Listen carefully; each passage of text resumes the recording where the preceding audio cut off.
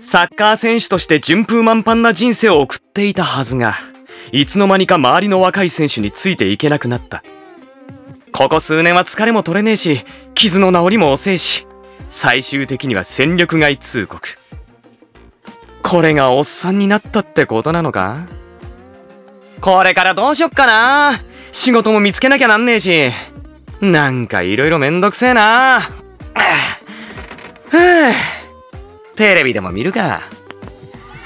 おお、ジェントルメン国民的アイドル。この人たち俺より年上なんだよな。おお、踊りもキレッキレじゃん。かあ羨ましいね生涯現役ってこういうことだよね。あ、お、元嫁。もしもし養育費はちゃんと払うって、なんとかするから。は？満腹芸能プロダクション？なんだそれ？は？俺がアイドル？はい。あえ？あ、いやいやいやいや、いくら養育費のためとはいえ、アイドル？俺が？